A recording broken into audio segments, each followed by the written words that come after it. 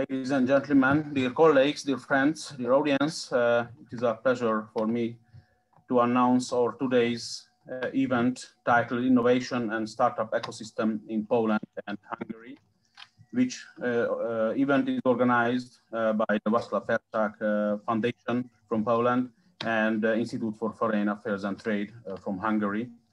And the main uh, goal is to highlight the specificities, and problems and opportunities of innovation in the startup ecosystem in Poland and Hungary. Let me introduce the speakers of uh, today's event. First of all, uh, Mr. Professor uh, Zoltán Cséfalvay uh, from the Mathias Corvinus Collegium, head of Center of next technological uh, futures. Uh, Professor Cséfalvay has a strong uh, academic background and a strong governmental background. So I'm sure that as a keynote speaker, he will deliver and contribute a lot to this topic. Uh, I would like to introduce uh, Mr. Piotr Arak, the director of the Polish Economic Institute. Um, Ms. Mária Molnár Nagy, University Business Relation Expert by the MOL Group. Uh, Mr. Marcin Sowa, head of unit, the unit of Department of Innovation and Industrial Policy, Ministry of Economic Development, Labor and Technology. Uh, Mr. László Jónás, uh, Business Development Manager of the Design Terminal. And uh, Ms. Anna Wisniewski, uh, Associate Research Fellow of the Institute for Foreign Affairs and Trade, who will uh, uh, shortly introduce the IFAT Felczak project, which is the framework of, of, this event today. And this one is the second event of this event series. And myself, I am uh, Laszlo Vasa, a senior researcher of the Institute for Foreign Affairs and Trade, and I will serve you tonight, uh, today, today evening, as uh, uh the moderator uh, of the evening. So I hereby would like to ask uh, Anna Wisniewski uh, to introduce this project. Anna, the floor is yours.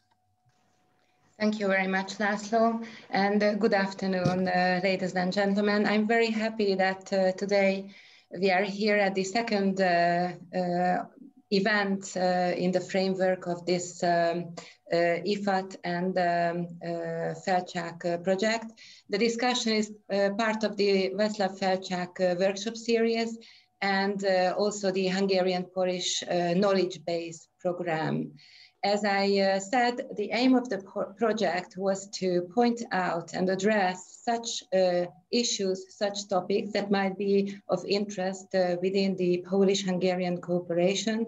The first uh, event uh, uh, within this project and these series uh, focused on green economy, green energy. The second one is focusing on innovation and startup ecosystem in uh, our countries. And the third one will be uh, on uh, good practices in the bilateral uh, relationship between uh, the Polish and the Hungarian economy. to each event, we invited participants from the economy, so there are representatives of companies, uh, national companies, multinational companies, and also we um, uh, invited uh, experts from uh, institutions, um, different think tank institutes, and also from the government. Uh, I'm very happy that today a very interesting and a very future related topic will be in the, uh, in the focus of uh, the discussion. And I hope that we will learn a lot uh, from that. To each uh, panel uh, discussion, there was also a four to one study prepared. I will just share the link of this study to in the chat um, for today's event. Thank you very much. Thank you, Anna, um, for introducing the project.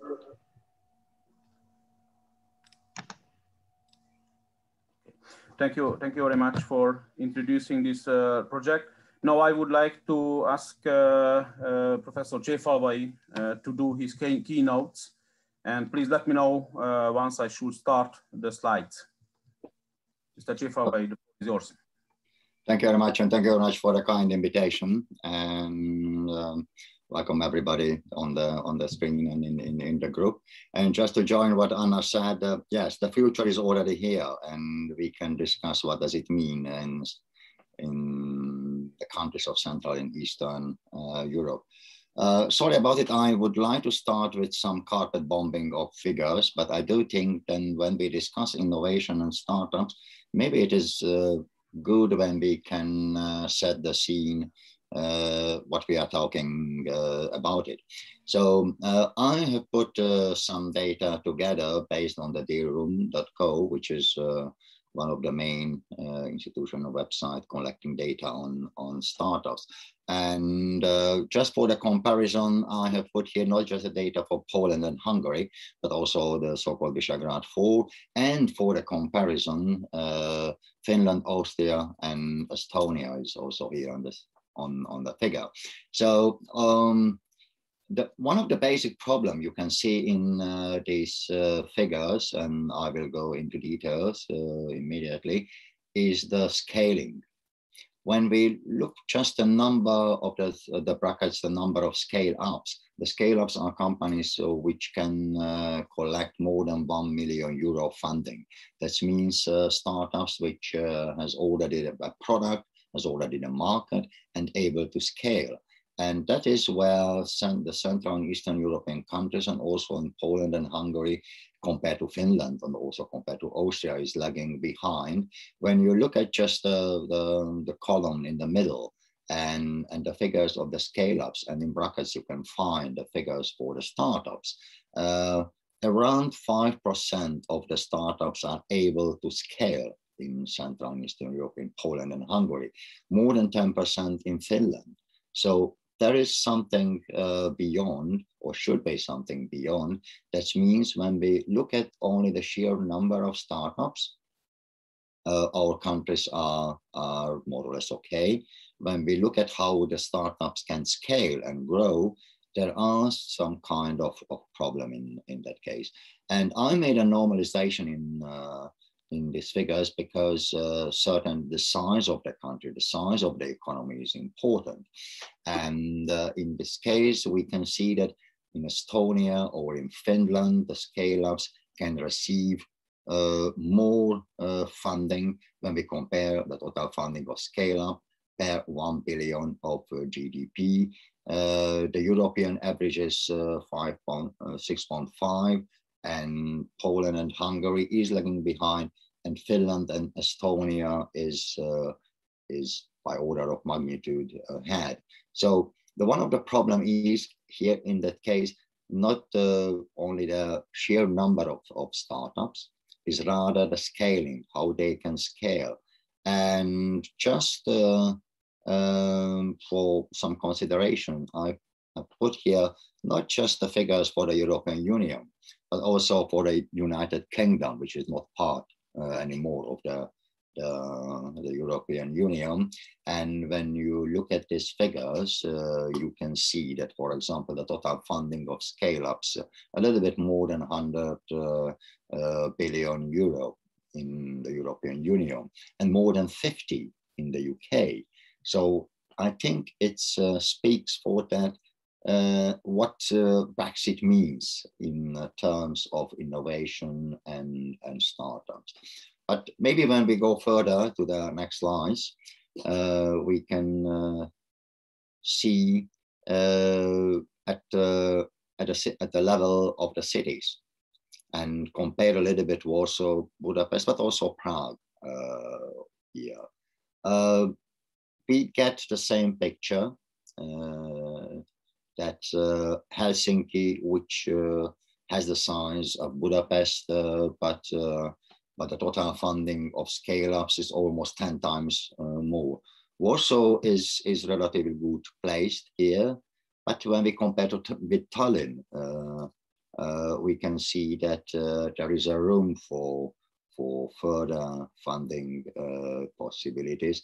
And when we move to scale ups and the scaling, uh, the number of scale ups with a market value more than 200 million, we can see that, uh, that there is something with a with the scale and the growth of these, these companies, of, of these startups. So we are talking always about the startups. How can we, we support the startups? I do think that uh, one of the most important part to uh, help the startup or support the startup to grow. And uh, when we move to the next slides, I will have only four slides and with the figures. Uh, I do think two important uh, um, factors are playing key role. One is talent. What access uh, the startups or, or, also the venture capitalists have uh, to, to talent. And once again, we see here the differences. It's a relative interesting figures that means the number of funders who attended to the universities of the scale-up city. In that case, the, the number of funders of startups who were attended at the universities in Warsaw and in Budapest, there's only only 50 funder of start of scale-ups uh, uh, were attended in, in, uh, in uh, Budapest and in Warsaw more than 100. But Helsinki, once again, is, is ahead.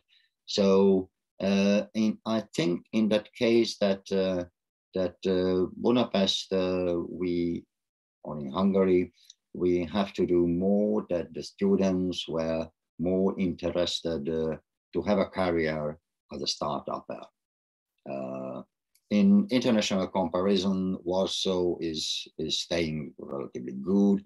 And for me was also surprising that uh, that Poland is more decentralized in uh, this case. Also, Krakow, Wrocław, Posen uh, has, uh, has relative uh, uh, considerable number of funders who attended to that universities. I would say that in Budapest and and, and also in, in Prague, um, there is more should be done uh, uh, that uh, the students will consider also as a future prospect to fund or to start a startups. And let's look at the, the last uh, uh, slides, uh, what I have. Yeah, for the finance. I think that is the part where there is a real catch-up uh, we, when we look at the, the, the, portfolio size of the venture capital funds in, uh, in uh, Central and Eastern Europe, how many startups they have, uh, Warsaw is very good placed. Uh, when we look at the all-time investment, okay, all-time means all the time uh, before, and uh, that has the consequence in that case Helsinki Espoo started uh, the whole development uh, many, many years before. And that is a difference. But I think that that this is the part where where Prague, Budapest, uh, Warsaw is catching up. So providing financing uh, possibilities, venture capitals, uh, uh, funds and in investment. so that is this part where we have to do more, I think, is uh, is a two point. That is what I wanted to show with this these figures. One is the scaling uh, to encourage and to help uh, and to provide a the environment uh, for scaling.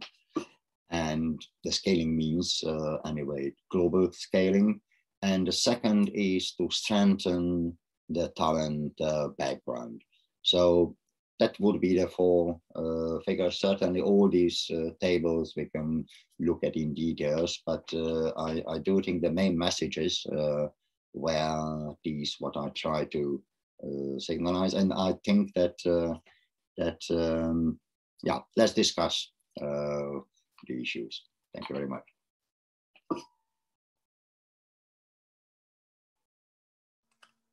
Thank you, Professor. it was very interesting to see the differences uh, uh, both in the region and uh, between between the different countries and it is providing a great context for our discussion. Uh, Mr. Arak, I would like to ask you for doing your your uh, uh, kind of keynote as, as, well. I would say so to deliver your speech. Mr. Arak, the floor is yours.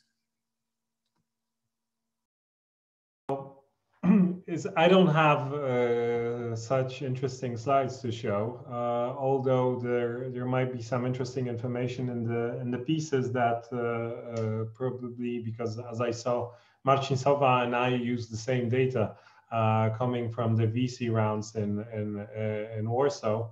Um, we pretty much know more about our market and, and its under development.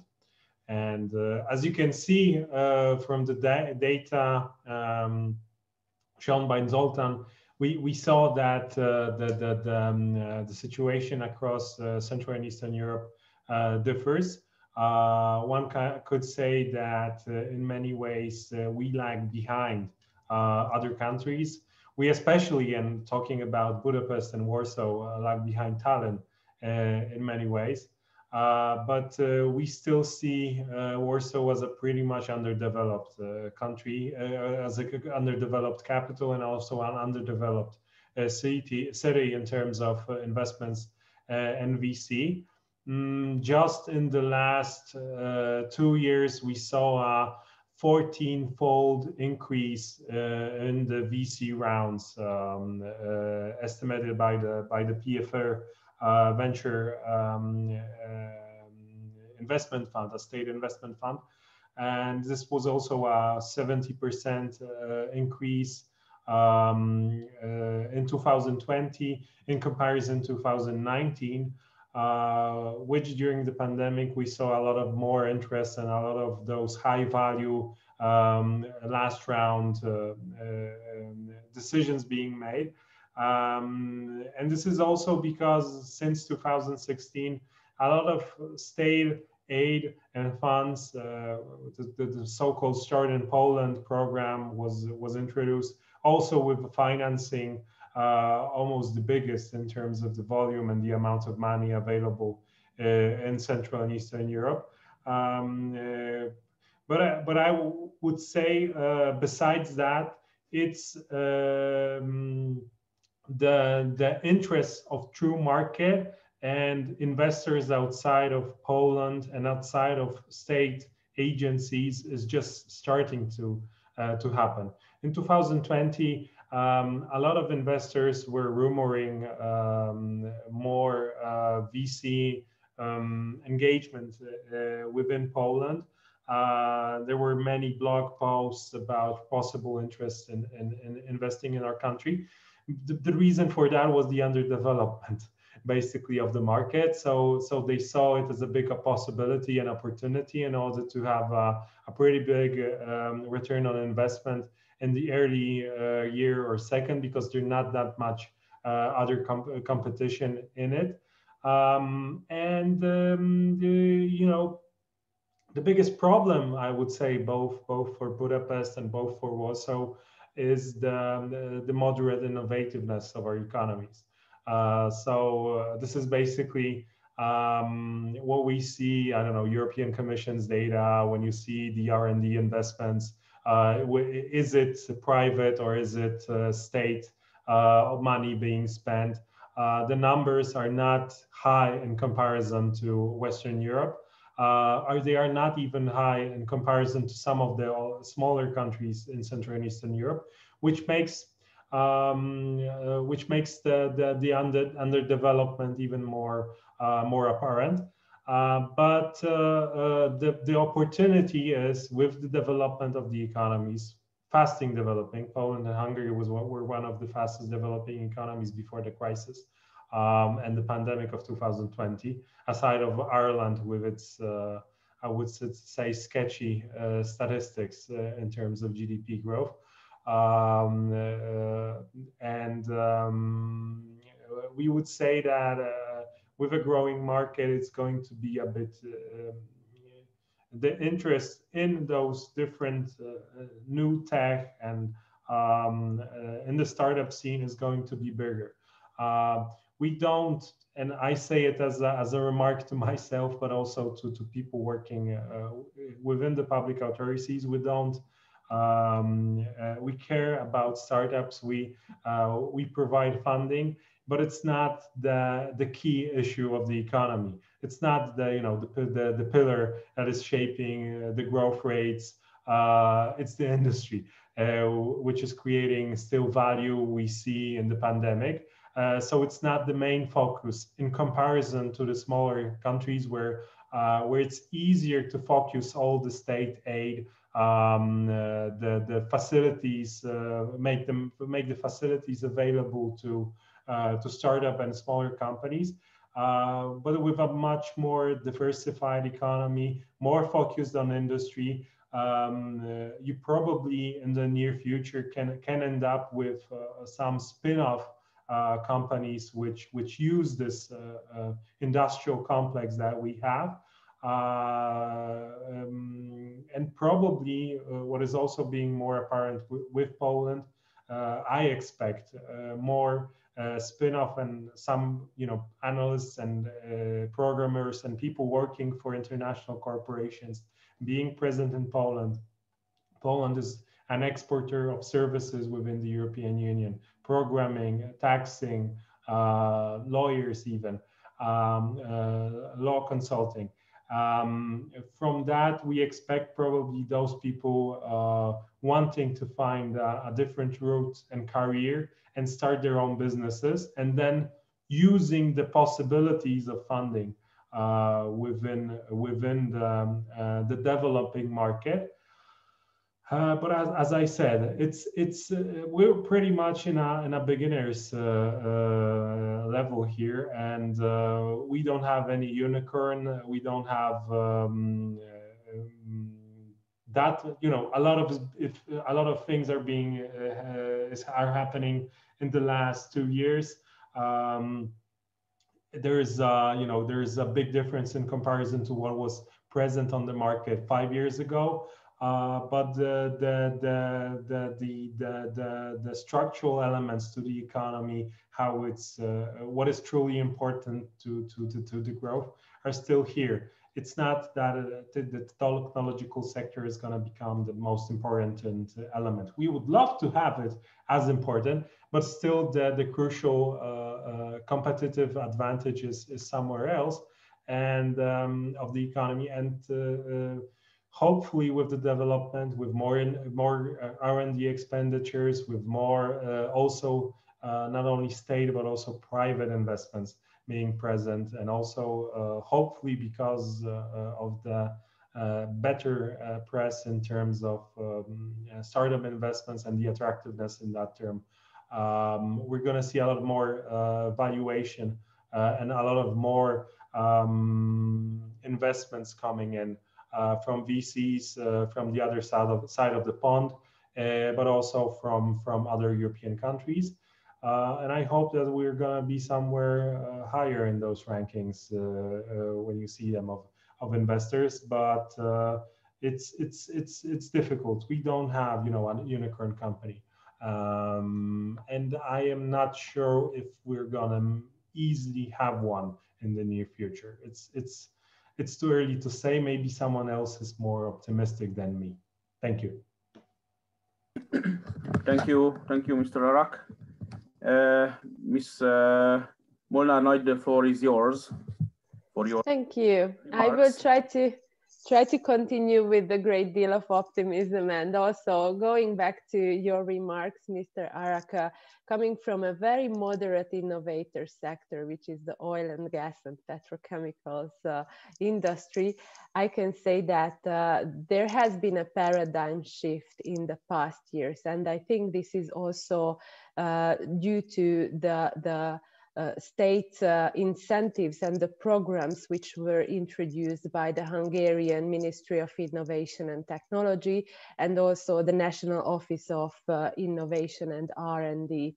And uh, also these programs uh, which are meant to, to motivate industrial university collaboration, these all work towards uh, what we call the triple helix of innovation. And I believe that this is really important that the state, the, the, the public sector, uh, the academic uh, fields and the industries work together.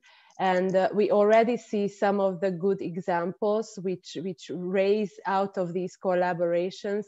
And uh, and it serves our company.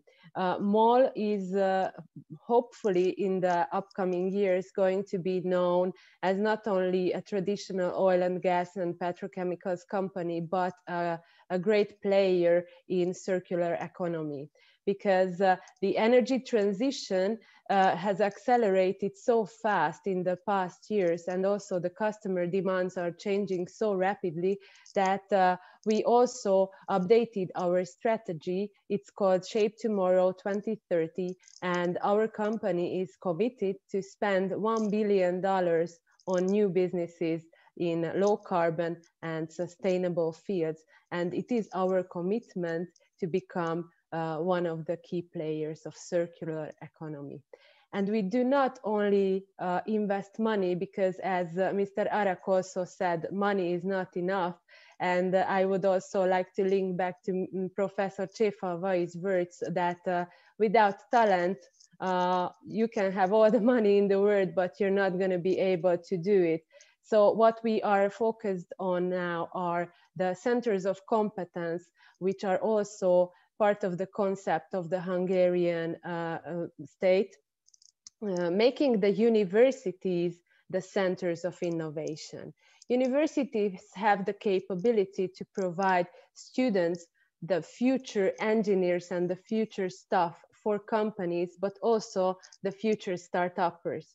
At the same time, they have the basis of uh, R&D and innovation. They have the infrastructure, the physical infrastructure, the laboratories, and the huge knowledge of, uh, of the universities. And combining this with the business-driven approach of a company, actually these programs of the state are connecting the challenges of the industry with the competencies of the universities. And uh, these uh, programs, which uh, started as projects, university in, uh, industry collaboration projects, uh, they have grown into centers of competence. And I think the key here, which I would like to highlight, is that uh, we, we also experienced a paradigm shift coming from silo thinking in each and every member of this ecosystem. It can be a faculty of a university or it can be a, a business line within a corporate company thinking about their own KPIs and not looking out. Uh, and also traditionally having such a closed innovation environment. Now it became an open environment for sharing problems, for sharing challenges of the industry, with the universities, with the startuppers, and with the new generation of, of uh, talents. And I really hope that we are going to see the results of this very soon. We recently established a circular economy science park with the University of Pannonia in Veszprém. And we believe that it can become a thematic innovation hub, connecting all the players in the field of R&D, uh, industry, public sector, small and medium enterprises, and also serving as a startup hub. And uh, this way, we would like to attract the talents from all the region. And we would also like to create a competitive advantage in one field because we, we believe that we cannot do everything. So we cannot be the best in everything. But hopefully circular economy will be a competitive advantage of ours and it can create a value for the national economy. And uh, just the last thought, uh, I personally believe that without uh, regional collaboration, this is not going to happen. And maybe going back to all those gaps in scale ups and you know the, the longevity of these startups, uh, probably not being able to go beyond the borders can be one of those obstacles. Thank you. Uh, thank you very much, Ms. Molnar Nagy, uh, for your talks and highlighting what the largest Hungarian company is doing for the startup ecosystem. And uh, you highlighted also the importance and uh, already a practice uh, or, or a future practice of the university and, and, and industrial company cooperation where also the startups can have their very good and very useful role. And I agree, indeed, uh, reg regional cooperation is needed as, as our countries, even Poland, uh, let's say, is just too small uh, to provide the unicorns uh, and both on the demand and supply side. Um, the, the market is just not enough uh, for that. Um, yeah, Estonia is a kind of uh, miracle somehow, but it is another story now. We are talking on Poland and Hungary. So uh, I would like uh, to provide the floor uh, for Mr. Marcin Sowa. Mr. Sowa, the floor is yours. Okay. Uh, good evening. Uh, thank you very much uh, to the Institute of, for Foreign Affairs and Trade and um, the Felczak Foundation for inviting me to today's meeting as a former commercial counselor of the Polish embassy here in Budapest and uh, mint that means the graduate of St. Uh, István Egyetem. Uh, today I connect both our countries particularly strong and even I am speaking uh, to you uh, from Budapest, from Rózsadomb. But uh, today I act as completely different person. I am head of unit in Department of Innovation and Industrial Policy in our ministry, and I am responsible for horizontal innovation support instruments, mainly R&D tax reliefs and IP box tax relief uh, as a co-author of, of this, uh, these reliefs. And also I participated in the creation of the uh, so-called Starting Program, Start in Poland program, a nationwide startup support uh, program. Uh, so-called acts of on innovation uh, that entered into force, the first one five years ago and the last one three years ago, not only removed many barriers uh, for innovators, but also created one of the most accessible instruments for supporting innovation, I mean R&D uh, tax relief. We are very proud of this instrument and every year number of companies that benefit from this relief is growing. Last year, or in uh, 2019, it was uh, a little bit more than 2,500 such taxpayers, such companies used this tax relief but the number was uh, uh, bigger uh, by 26%. this few statistical data is very important to realize the scale of our problem of Polish economy. We have nearly 2 million companies in Poland and about 6,000 conducts R&D, of which less than half use the available support instrument.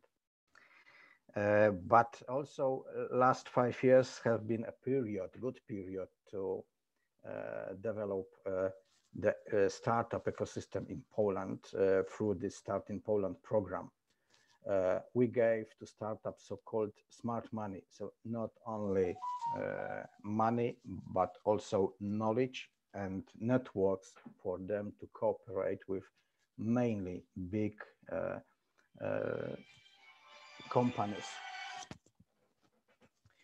Uh, the effect of the development of the startup ecosystem is visible through the prism of the development of Polish venture capital market which Mr. Arak uh, mentioned. So uh, in 2020, uh, we had more than 300 investments and the value of these investments were about five, was about 470 million euro and the increase was by 70 percent uh, and we should remember that by uh, 2018, the value of VC investment in Poland was about only 50 million euro. So uh, this is really a frog jump from 2018 to 2020. Most of the investments were, of course, seed investment, but uh, there were definitely more investments in round B or C. And we are also uh, are still waiting for the first Polish unicorn, but I think it's uh, really getting closer. Last year, uh, we had three uh, already big mega rounds uh, with value about 55 to 80 million euro. So this is also in uh, European Union uh, terms rather big amounts of, of money to invest in, in, in one startup. Polish specialty in acceleration process is connecting startups with large companies. Uh, its goal was to combine the potential of startup with the experience, infrastructure, and resources of corporation, including also state-owned companies. Thanks to this, startup have uh, opportunity to gain experience in building contacts and cooperation with large companies as well as to gain business partners and potential investors. Uh, the effect of the program uh, is commercialization of number of innovation, if innovative solutions. So our experience shows that uh, we have uh, successfully connected these two words, startup and large uh, corporations. And maybe this is, maybe it will be solution also for Hungarian idea to, to, to join these efforts. Thank you. Thank you very much, uh, uh, Mr. Sowa, to highlight the situation and the uh, developments uh, uh, in, in Poland. Now, I would like to ask uh, Mr. Jónás to share his thoughts with us, please. Thank you very much for the opportunity. So First, I thought uh, it will be hard to say something interesting after Professor Cséfalvay. But again, if I, if after these keynotes, it will be even much harder. So I have to take out a lot of things from my keynote, but this, but I still try to be interesting from a, diff, from a different side. So I'm László Jónás, Head of Business Development at Design Terminal. Just to have a context uh, who we are. We are an innovation agency working in 12 different European countries. And uh, we believe that innovation is about the people, is about the human capacities. No, there's not uh, enough money in the world to be innovative. There are no best, best processes in the world to be innovative if the people do not want to do that. So what we believe at Design Terminal is you have to um, work with the people to be able to have a solutions solution which is unique in their field. Um, and what is interesting for me in this topic is that how that everyone wants to be a startup superpower in the world. So if you check everyone's country strategy, you will see that we're gonna attract the best startups in the world. It's like that in from Thailand to the United States. And, and I do not think that if we don't have our niche to work with, we will be able to compete. And the, and the COVID is a great uh, opportunity to find this niche, to find our voice in, the, in this kind of uh, um, war for the innovative companies. I do not think startups are the best way even to phrase it because I believe that if someone is not even look like a startup, if they are able to um, give work to five to 10, 15 families and provide something great for their uh, community, then I consider it's an important part of the innovation community. So um, back to our voice, I, I believe that uh, Hungary and Poland should uh, concentrate on business to business startups. Why it is? Um, we don't have such a big market as, as the United States. We're never gonna be the next Silicon Valley. It's not gonna happen. But how, what can be the best at?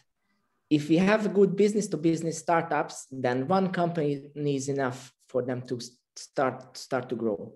And uh, I think this is our chance to become a great player in this field, to have a much bigger role um, that as we have now. Because to be able to raise startups like these, you have to have an ecosystem which enables connections between startups and cooperation, uh, between startups and, and corporations that they can cooperate. And I believe that there is a there is such a niche that we can we can be good at. Um, many companies say that they are working together with startups and i do not think that multinationals are the ones who we should talk with. We should enable small and medium enterprises in hungary and in poland to digitalize themselves with startups to start connections with startups. Then in this way, we will be able to um, maybe um, raise our first unicorn, but I do not think that's the most important. We will be able to um, bring up companies that uh, will stay in the region. There are many researchers nowadays that uh, shows if a startup starts to grow somewhere, then the part which produces the most uh, value added that will stay in the region. So if we are able to have these startups to have their clients from Hungary or their first clients uh, from Hungary and Poland, we will be able to have them to stay in the region. Then they will not gonna be sold to uh, to Germany or to United States in the first year of their uh, of their operations. So I believe that this is a niche that where we should be concentrating on. And something else which uh, came to my mind uh, through the discussion is that that can being a unicorn uh, be a goal? Can scaling be a, goal, be a goal in itself?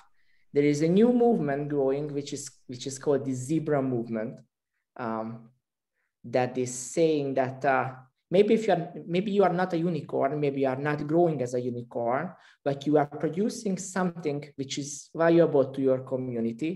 You are uh, sustainable not just uh, spending or burning the money of, of an investor for years and become binary that if everything goes well then you're going to live. But if something goes wrong then you'll die. You remember the the WeWork scandal. A lot of money was burned through that. So i believe that uh, we should also concentrate on the zebras and not just uh, uh, help to those ones who want to disrupt the work, but to those ones, as getting back to the industry, to um, Mr. Arak's speech, those ones who can make our industries a bit more efficient.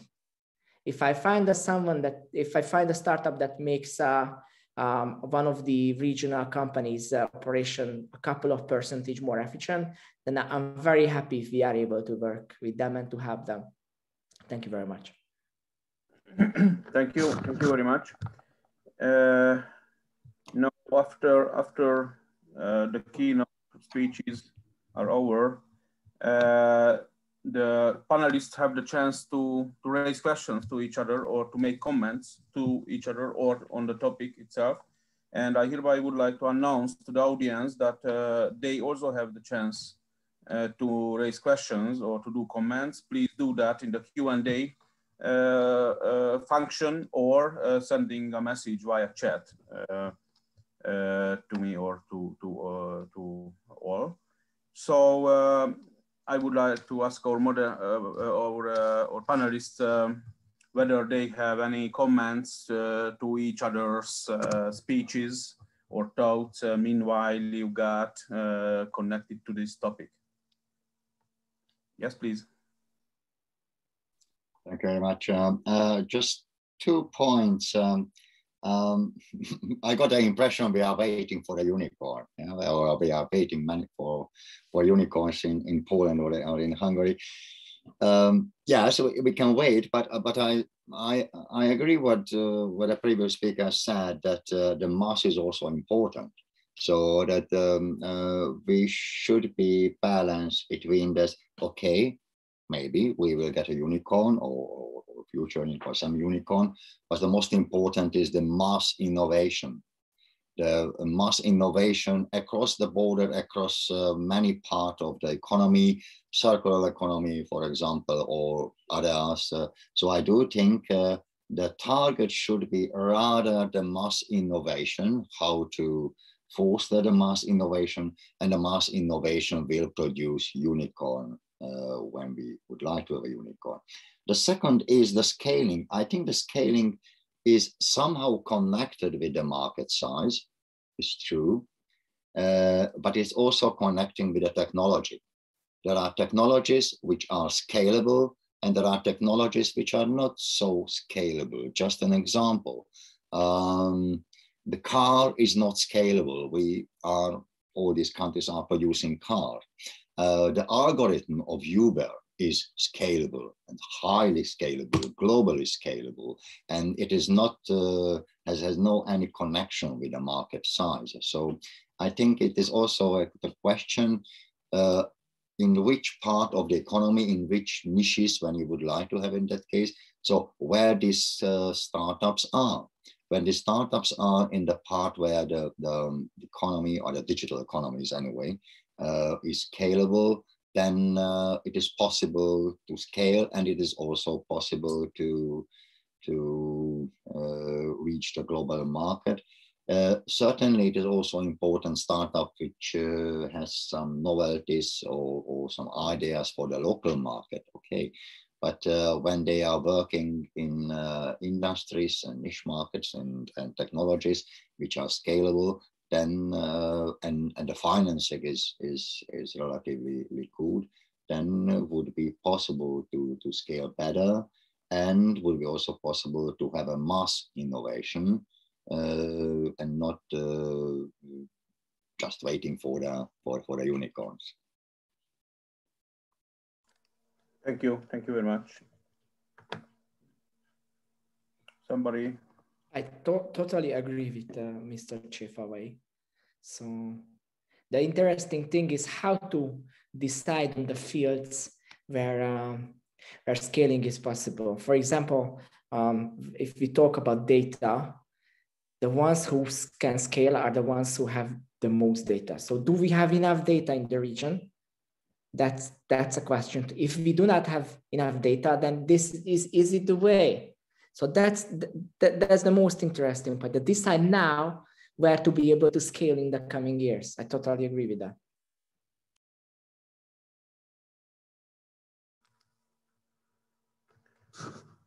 Um, let, let me let me change my role uh, to a to a underinformed outsider from this field, and let me let me know, please, uh, what would be changed if we, I mean uh, Poland and Hungary, in our territory or somehow, would have a, a unicorn. So what would be changed? So uh, the the whole um, uh, culture of this of this uh, entrepreneurship, which is absolutely missing, I think, in our countries uh, due to some hard times in the past decade uh, called socialism, which killed all entrepreneurship in that generations. So, what would be changed really if we could have? Okay, so we would be proud for sure, but would it be such a motivation force for other uh, uh, companies which would uh, occur a boom in a next boom in in the in the startup scenario. If, if I if I may answer, I just very hard to see who wants to talk in in this panel. But anyway, so I think a unicorns have a twofold role. One of them is this, it showed the the the university students, the young people that they can make it, that everyone can make it, and it's very important. I'm sure about that. But what we see uh, in Scandinavia is they have more important role when the when the founders of the unicorns are exiting, because they are the ones who are investing back. So what we see um, at the example of Skype, what happened when the founders are exiting, they became the first angel investors and they had enough experience to be able to grow big companies. So I think that was one of these secret successes of Scandinavia. And these are the things why I wouldn't say unicorns, but companies who have an, an a significant amount when how they can for the they can sell it. Their founders are very useful for the economy. In Hungary, um, we have Gyula Fehér who sold, sold his company um, to IBM a couple of years ago, and now he's running a new uh, investment fund, which I'm sure will be the most successful in the coming years because he had uh, experience in the sector. Thank you. Thank you. If I may add to these thoughts, yes. I think there is a third uh, maybe it's a factor, but I don't know. It's related to the culture uh, and the, the, the whole perception of our country. So, for long years we have been known, you know, for the smartest people, for Nobel prizes, and uh, the great researchers that, unfortunately, some of them left our countries.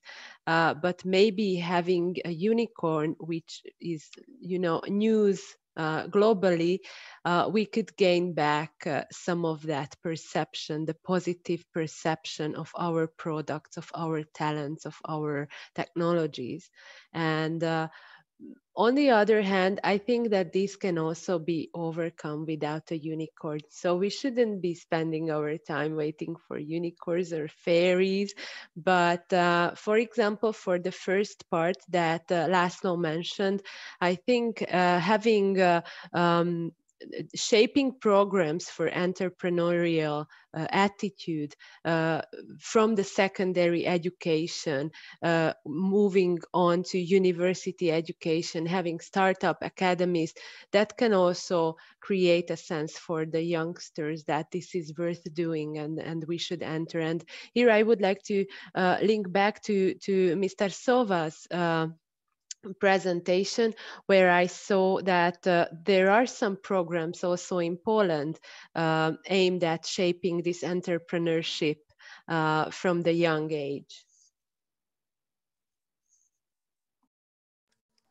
Yeah, uh, uh, three uh, thoughts from me. So the, I think startups are the only one of the elements of the innovation ecosystem uh, and perhaps not the most important one, but uh, important enough to deal with. And of course, the unicorn is not an aim in itself, but it will give for others a positive impact. And I think that's all. And of course, somehow promotion of uh, uh, this uh, Polish or Hungarian ecosystem. Uh, so I think uh, therefore these thoughts are, are, are, important. And i think we uh, have enough data in the region also in the uh, uh, one country but most of them are not available.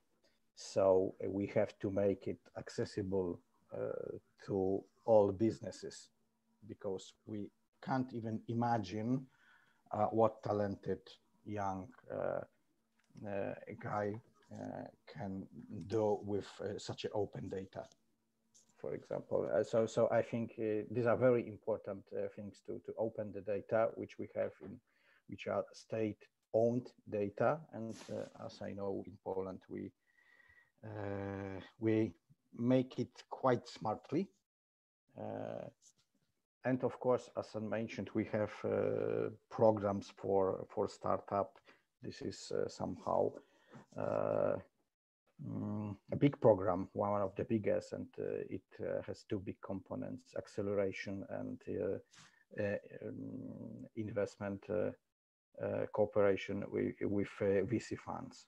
So both of them are, are, are very important because these startups that ended the acceleration program are the national market, so-called for for VC uh, funds, uh, not only uh, Polish one, but also at the at the older stage also for international VC funds.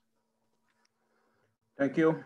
Uh, thank you. Uh, meanwhile, we got some questions, so it seems I encourage our attendees to, to pose questions. Uh, the first question was by DSA, building a competitive environment for the region could also support building tools to share development opportunities with potential startups, I guess. Who or which players should build these tools? The question you can see in the question and answer uh, function uh, just below. So some of you probably can uh, answer this question.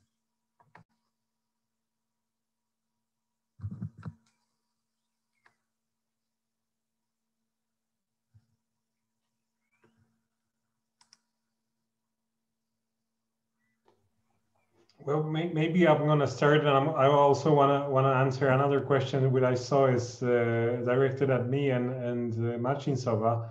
Um, so um, you know, in order the, the knowledge exchange and also uh, the kind of twinning and in order um, for the businesses to to to uh, get together more easily is basically uh, what the states should do and a lot of state agencies and uh, the, the, the businesses uh, can of course uh, do it on their own. We have you know commercial services which are available. It's quite easy to find some information but if you want to promote uh, your own national uh, companies and in order for them to um, have the possibility to find a venture capital investor uh, then probably it's a good good good thing to do by the state Mm, so I would say the, the state should build those tools uh, at some level. It can cooperate with anybody. It can cooperate with international organizations. We can cooperate with a different country. You can cooperate with even state-owned enterprises. Um, uh, but in order for them to be universal and quite uh, quite easily accessible, and it's um, uh, uh, then it should be the, the, the, the intervention of the state.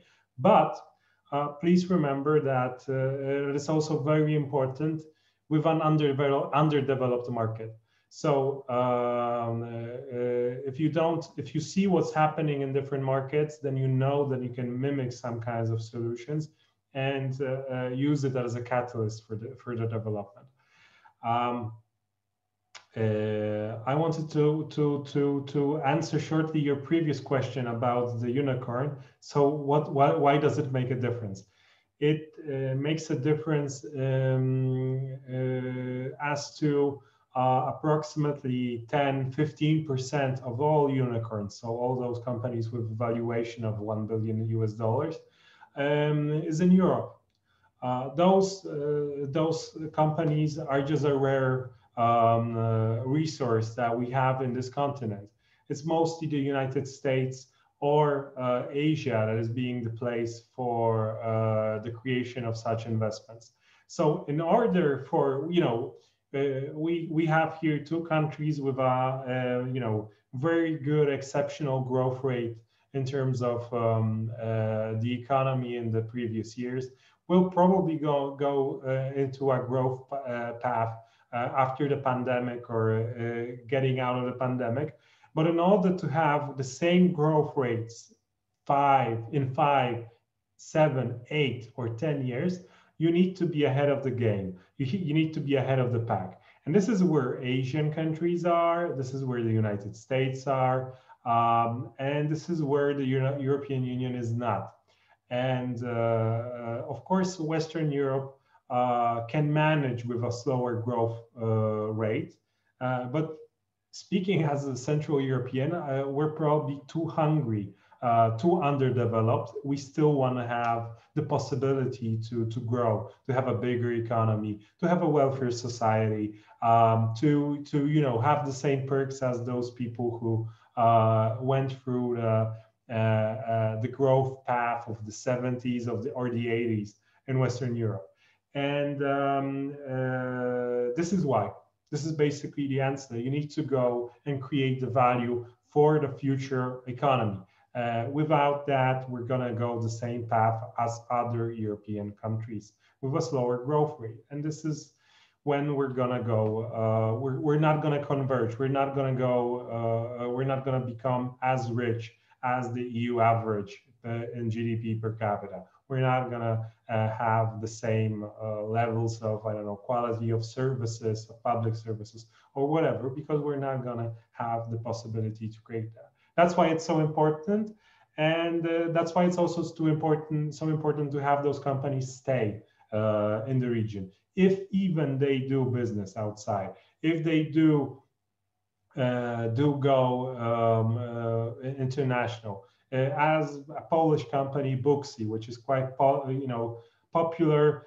If it's not the lockdown when you have to go and book a, book a, a book a place at one of your barbers, uh, because now they're currently in Poland, they're closed. So Uh, but if you were, were go to want to go to to a barber, you're going to use the service, and it's the same service you're going to use in a different um, part of the world. And uh, but it's what would you like is uh, to, for them, which they have a presence in the um, in the United States in Silicon Valley, but stay to have some um, business development uh, or part of their corporation, uh, small or, or medium, to to still be present in uh, in Poland or in Hungary in order to create that that value. Because in the near future, maybe uh, it's it's Ireland which is gonna develop, uh, you know, 25% per year, as in 2015, because of the financial flows of some corporations which pay taxes there. And uh, if not, the you know the, the, the, economy of the future is going to be a pretty much different, um, more service driven, less industrials, and this means a lot of change for the for the business models of of, of uh, and also tax models of uh, for for for for our for our region. Um, and uh, uh I wanted to say something about the R&D support. Um, we, we, did we did actually a paper I cited uh, in the opinion piece I, I wrote for this uh, discussion um, about the R&D help and the um, tax breaks available in Poland and also other uh, uh, European countries. Uh, after 2016, and this is what Marcin Sowa is, is actually the creator of the tax breaks that are available in the system, they became a, a lot more popular. Um, uh, I guess it's uh, is it 3,000 companies, but the number of uh, the valuation of the the tax breaks is quite a lot higher right now. This was also in connection with a lot of um, new uh, expenditures being seen by the tax system uh, from private companies. Uh, as of 2016, 2017, 2018, we, increase uh, the, the increase on R&D uh, by uh, by the state was by the the private companies were was higher by the private sector is becoming a lot higher. We're not near our goals of two percentage points uh, of GDP being spent on R&D, uh, but it's quite easy. And uh, what I can tell you is that the tax breaks we have in the system in Poland right now are probably one of the most uh, um, uh, holistic measures uh, available in the region. I guess it's only Slovakia that has the tax breaks even lower. The corporate income tax level for, for companies using the IP box uh, for, uh, for creation of um, um, uh, for the IP box is basically 5%. Um, and this makes it one of the lowest marginal tax rates uh, for corporate income tax in the European Union. Uh, Hungary also has some those tax initiatives for companies to, to innovate. Uh, also uh, a very competitive tax system uh, in terms of corporation taxation, but it's um, uh, um, it's basically all you can do if, if you can be very competitive but still not see the results of it because companies are risk averse and this comes to our nature uh, this comes where do we come from? From from uh, eastern part of uh, Europe, uh, people uh, not having enough capital to spend yet. Uh, this probably could, could it's you know the best the best business opportunities is you using someone else's money, not your own and uh, this is uh, uh also why uh, the, uh, the, this, um, the supportive funding and other business partners are so important because people are a bit more risk averse in our region and they don't want to spend that much money on some endeavors that cannot give um, easy um, um, ROI in comparison to the other investments available on the market, which are less risky. Uh, now, so this is the basic point I, I, I, can I can make, and it's you know obvious when you do see the da data on risk uh, risk aversion, uh, and this this is basically our region. Uh, if you look uh, in, Europe. Thank you, thank you. Now we have some other questions. one of them is I would like to ask more details. What is the opinion of speakers about how advanced are the ecosystems as a whole? Uh, partially is, is answered. And their actors in Hungary and Poland. And plus, uh, what about culture of meritocracy? It is in the chat. Uh, in the chat. Yes, please. Uh, professor. Since I am a big fan of meritocracy, I would like to add to this question that the, the triple helix supposes the model, even the quadruple helix, which also mm, you know involves the the civil sector. Uh, all of these mm, frameworks, all of these models, and all of these endeavors from the state to create a frame where everything works ideally will not work in reality because some of the players do not have the drive, do not have the motivation, or do not have the resources, human resources usually, to be involved in this ecosystem.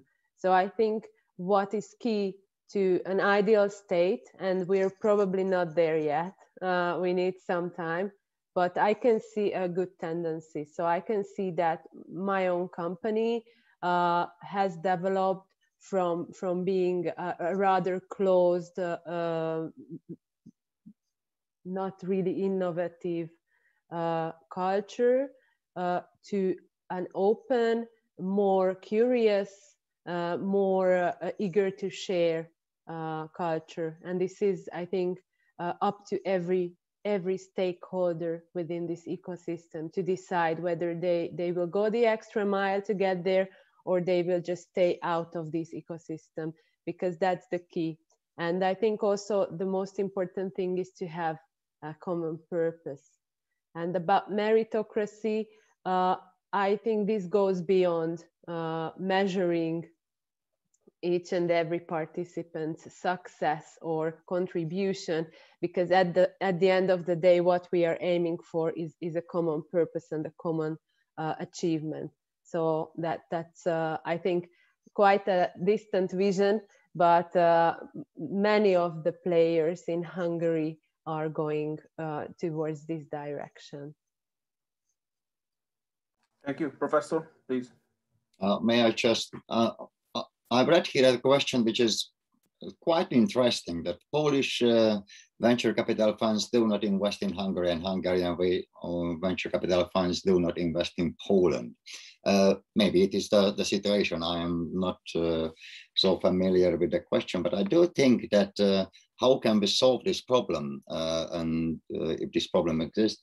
Um, it's, it's a very interesting and very important question, I think, because when we uh, are talking about the region uh, as a whole, uh, I think this is the first step to solve this uh, situation, which is currently could be that the Polish uh, venture capital funds don't invest in Hungary and the Hungarian not in, in, in, in Poland.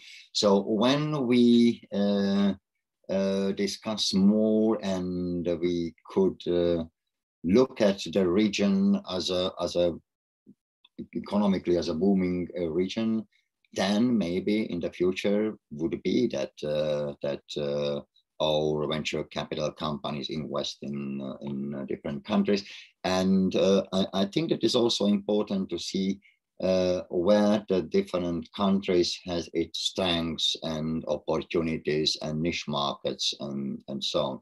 Just one point, as far as I know that uh, the Polish startups are very good in gaming yeah that's uh, this this part of the of the, the digital uh, uh, market. The, the hungarian are specialized rather uh, different closely to the to the industries and so on. So i, I think the the, the niche markets uh, for the startups are in Poland and also in, in, in Czech Republic or in Hungary in a different part of the economy. And and also for the for the venture capital uh, funds would provide different uh, possibilities. And when we put together the, the, the whole region uh, is also a market size. Yeah, that's a, a bigger as, uh, as at home. But I, I think it's a question which deserves to to discuss, to, to do a little bit research on that, um, what effects are, and uh, and I think that uh, when we have such a kind of discussion, what we have today, and and also the other, which uh, which rather uh, signalize that there is a region uh, which is catching up now, uh, could uh, be a possibilities for the venture capital funds. Just one points to the whole issues, uh, unicorns, so on and everything. Yeah, we shouldn't forget Europe as a whole is lagging behind a little bit in the whole issue of startups and, and also in, in innovation. And uh, when we place all countries in this issue, we should consider also this. If I may also answer to the last question about the investment, uh, the VC funding, the cross-border VC funding, I uh, maybe it's controversial, but I honestly think that people um, overestimate um, the importance of VC funding for starting a company. Um, we work with many startups, and to be honest, the best ones are the ones who don't have any money at all. They are the hungriest from these companies. They are the ones who know that if they do not make a deal tomorrow with their clients, they're gonna die. Um, we have a small investment fund. We invested um, between 100,000 and 200,000 euros to each companies. And it's not a lot, it's nothing to be honest. It's enough to um, pay for a couple of uh, programmers for a year. But I, I honestly believe that business is much more important than VC funding. There is a lot of funding on the market. We have companies that uh, will uh, that one is also have funding. One is one of them is also uh, already have a client in Poland, and now now they go for funding. Startups or innovative companies, I would say, should build business. Money is gonna follow. It's it's not the other way around. So first, they should be able to show traction so show that they are they are be able to do some business and then i'm sure that the money is going to follow. That's always how it happens. May i ask you László do you are you sure that this is the case that hungarian vcs do not invest in polish startups? Because uh, it, it, it, I, I, think it's it's it's rather you know i'm curious. Uh, uh what i know is that uh, MOL has a, a, a VC, uh, and the, they are called lead ventures, and they make decisions based on the competencies. So there is no regional consideration whatsoever, and uh, they do invest into cross-border collaborations. So. Uh, for me, this is news, uh, and I would like to know whether any of you is aware of, of the fact that it's it's it's true. Thank you very much. I, I got so he heated that I forgot about the beginning of the question and I just replied to the ones who wasn't what was very interesting for me. But anyway, the thing is it depends on the source of money. So there is a, a lot of EU funding um, for for the VCs in Hungary and Poland. And as I as far as I know from the Hungarian ones, many of them are only able to invest in companies that are incorporated in Hungary. I'm, I'm quite sure that that's that's also the same with uh, with the Polish funds that are state backed. But private investors are really happy. The Hungarian ones, I'm sure, they are really happy if they can invest in Polish companies. I'm sure about that.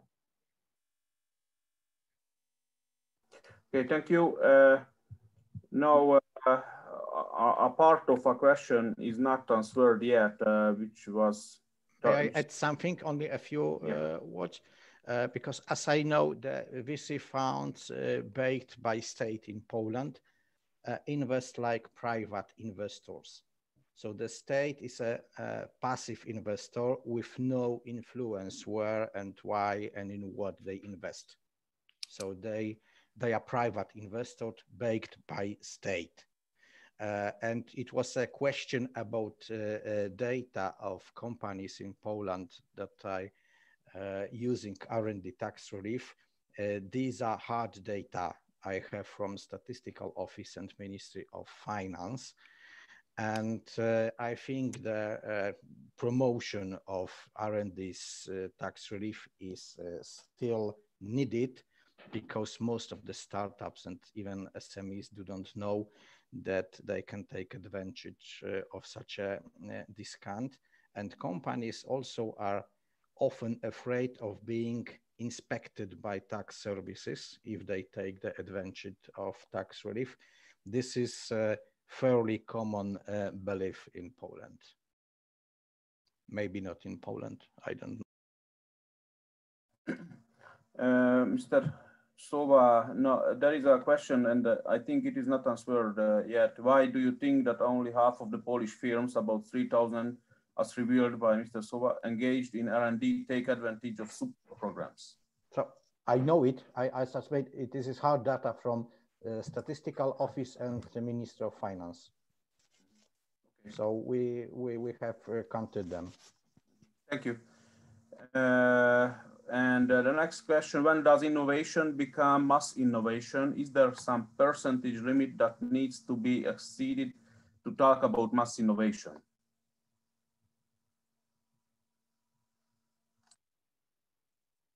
That was a question from Daniel. So who knows the answer for that? No, there is no such a percentage anyway. That uh, the mass innovation means in in a in, in a broad sense that not just mass; it is a bottom up. Yeah, uh, that's that's the, the, the most important.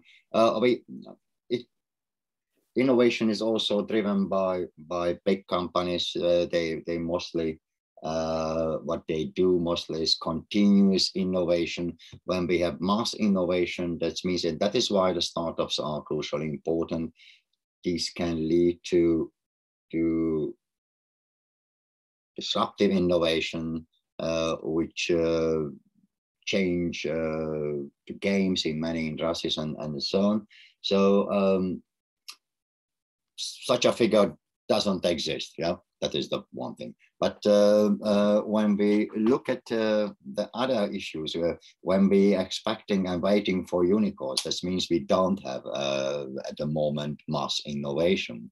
And when we look back in the history, there, there have been also time in Hungary, but also in Poland and, and and in, in Europe in the history uh, at, the first industrial revolution, for example, when, when really bottom up large mass uh, innovation was uh, the main driver beyond the development. So, so that is what we what we need, and we need this. It's not just because we would like to have the mass innovation. We need to achieve this kind of transformation, which was also mentioned um, that uh, all countries need a change to a more innovation driven economy. Yeah?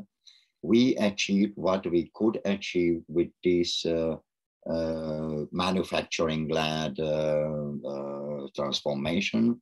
Okay, we arrived uh, to the point where we could arrive with this that industry driven um, development, it is the first part of the, of the catch up process but now we should turn, or we are at the point to turn to the innovation driven uh, uh, development. And this years where we are now in is, is, uh, is, is very, very important in this whole, whole change. That is why important the mass innovation. However, uh, it doesn't exist a figure for that.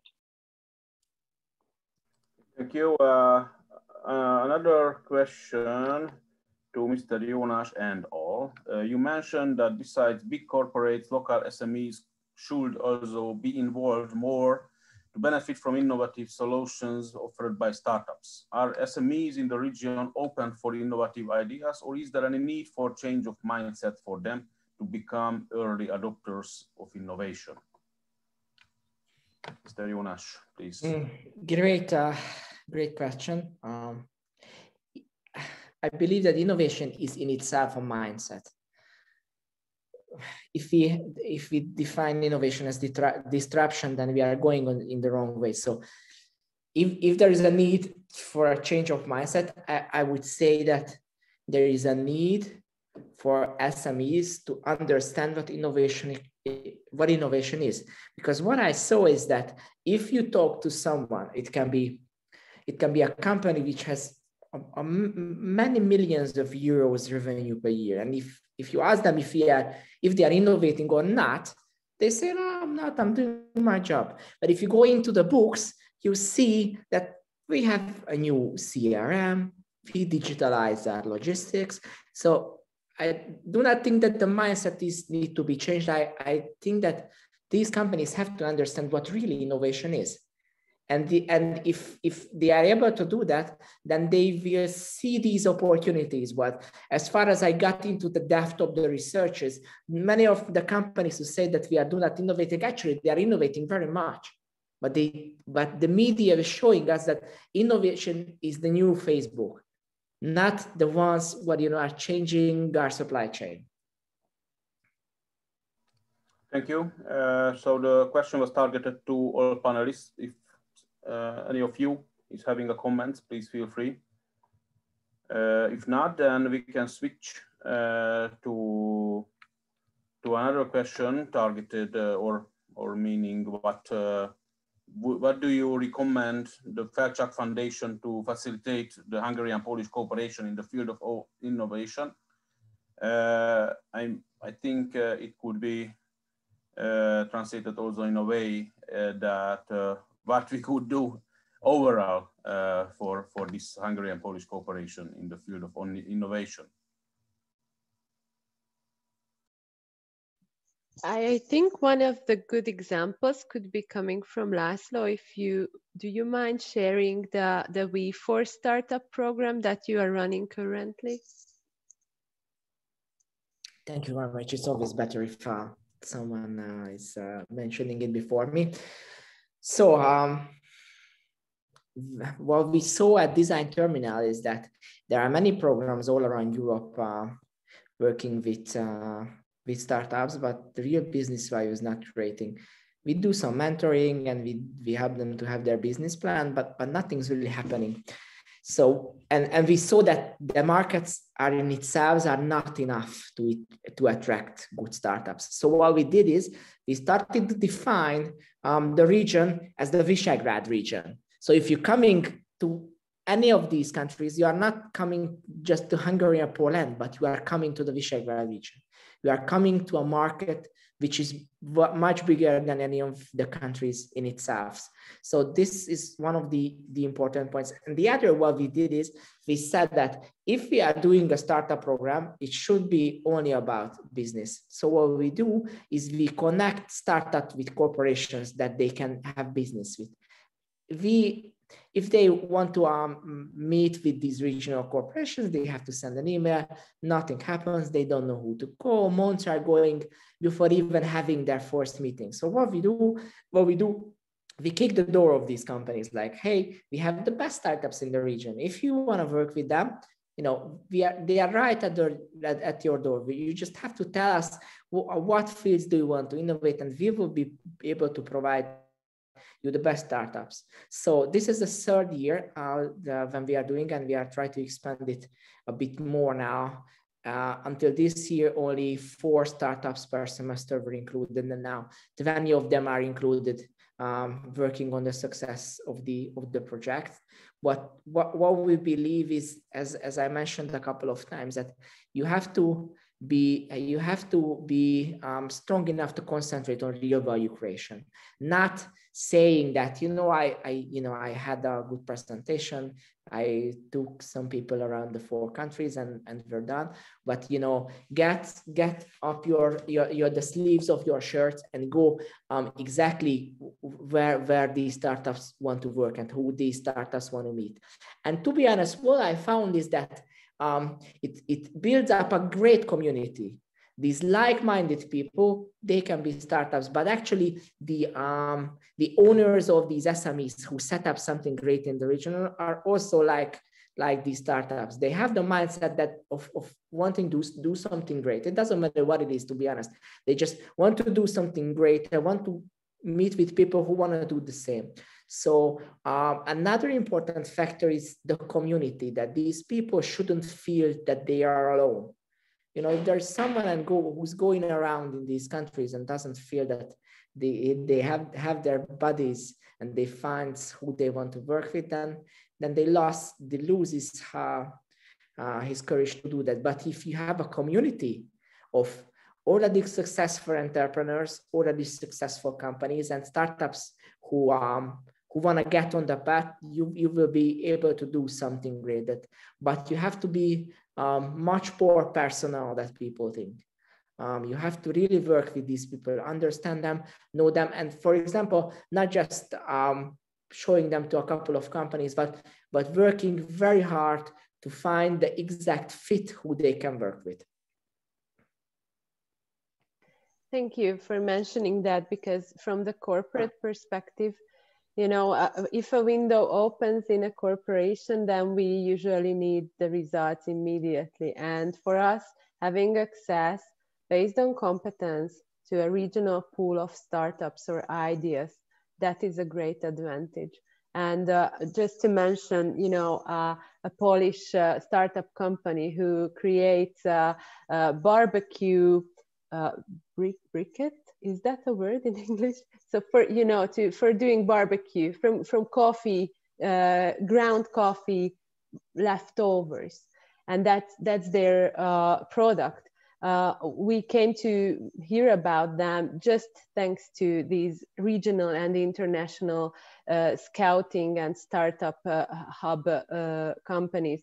So we are really thankful for that, and I think that is a, a great help for you know for those uh, companies which do not have the time to really go out and look for every country. So the regional pool is a big plus. Thank you. Uh, if I don't mistake, uh, almost all question we answered uh, except Anna's question. Uh, and I would say that uh, could be the last question as our time will be over soon. Uh, if, I, if I may add just a, okay. just a short question, because this Waclaw Felczak Foundation, you know, I think it was partly answered, but uh, I would be really happy if everybody could say something on this topic because this is the reason why we are organizing these debates to show which way we should go in this Polish-Hungarian cooperation. We understand that from uh, innovation and startup perspective, a regional cooperation is the target that we should um, focus on. And um, I don't know whether um, any kind of horizontal target could be set up, like a university cooperation or company university cooperation. So, what would be your message uh, to the independent uh, units um, working on this topic of innovation and startup ecosystem? If you would uh, give an advice to the uh, Foundation it's more important than the branches because basically what I, my question was is the branches where is uh, uh, from innovation point of view which branches are the uh, what we see what are the most biggest innovators? I think uh, partly we received the answer that um, for that during the debate.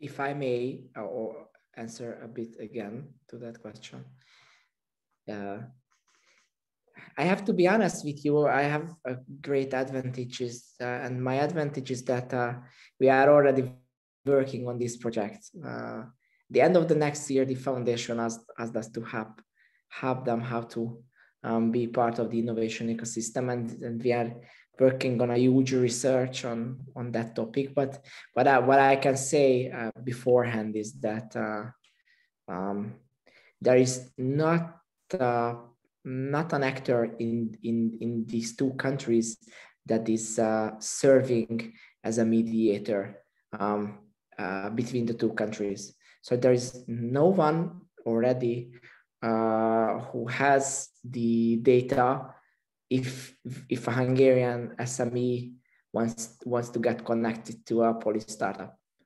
If a Polish start, startup wants to work with a Hungarian university so there is a, a great need for a player who is able to facilitate these processes. And I think that's, that, that, that would be a great role. Well, I can say something on a very practical level uh, because the the you know what's definitely needed for everybody involved is meeting ideas with money. So um, going back to a little bit more of my business experience, I would say that the, mm, the most important issue is uh, um, creating a, a, positive buzz on companies being placed in Hungary and Poland or in other countries of the region.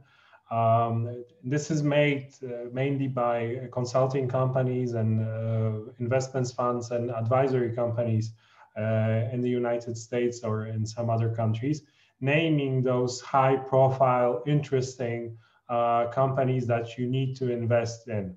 Uh, and these portfolios are quite a quite an mm, you know good introduction for many investors on why to be interested uh, in some country and it's uh, it's a it's a good advertisement made for the companies being present in Poland in Hungary um, in order to scale up, to find an investor, or just to advertise uh, the services that they provide. So this is a quite important uh, and quite easy matter for someone who's doing this um, economic diplomacy kind of work, uh, where you have the, the, possibility to, to know the markets, know more experts, uh, to have a more uh, unbiased view on the companies and you know also to to see the bullshit. Sorry for saying that in the statements of many companies that are in, present here. So many of the startups are playing you know uh, empty shells uh, uh, you know which want to get the funding and not actually develop the, pro the program or the product itself at the end uh, so uh, it's truly important to also do some some due diligence uh, with some people uh, present on the markets in order to know if uh, the company is as good as advertised somewhere on the internet. because the, the, the pro product itself, the service itself could be very substantial, but it just could be just a website. So, and, and then creating a true, true index of, of those companies that could be quite, quite interesting for the Visegrad countries or just for Hungary, Poland, I, I would see that useful. Thank you. uh, also from me, so maybe not just connected with startup in 100%, uh, but I have uh, the idea of return of full-fledged student exchange between Poland and Hungary. So I am the best example of such an exchange uh, I, I, graduated uh, here in, in, in, Hungary in 1995 and that time every year about 20 to 30 Polish students graduated at Hungarian universities and about 15, 20 Hungarian students graduated in Poland. So uh, this agreement uh, did, uh, uh, does not exist since 2001, I think. So my recommendation for, for Chakalapit Fund to support such a, uh, such effort, I think it would be useful not only in uh, startup cases, but, but also uh, for administration, for business general, in general. Thank you very much.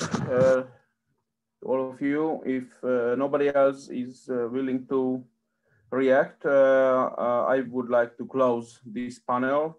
And I am more than grateful for, to all of you to take part uh, in this. Uh, I learned really a lot and uh, the context is really good highlighted. And I am I am very grateful to the audience as well as they raised very good questions and uh, this contributed a lot to the dynamics and to the content of this panel too. So dear colleagues, uh, dear guests, uh, speakers and audience, thank you very much uh, for taking part uh, in this session. And uh, I close hereby our session right now, our panel. And please follow the other events of the project other very interesting topics uh, will come. Uh, Anna, you know better than me when the next event will be organized. The next event will be in May, end of May, and it will be on the bilateral um, uh, relationship. And uh, we will see uh, the possibilities for finding such mediators or uh, finding the uh, conclusions of uh, the horizontal discussions. And I really, on my side, thank you very much because it was really a thrilling and very interesting conversation. Thank you very much. Thank you goodbye and uh, and take care. Thank it was a pleasure much. to meet you. Bye bye. Stay healthy and have a good evening. Thank you. Goodbye. Thank you so much. Thank you very much. Bye. Good bye. Bye bye.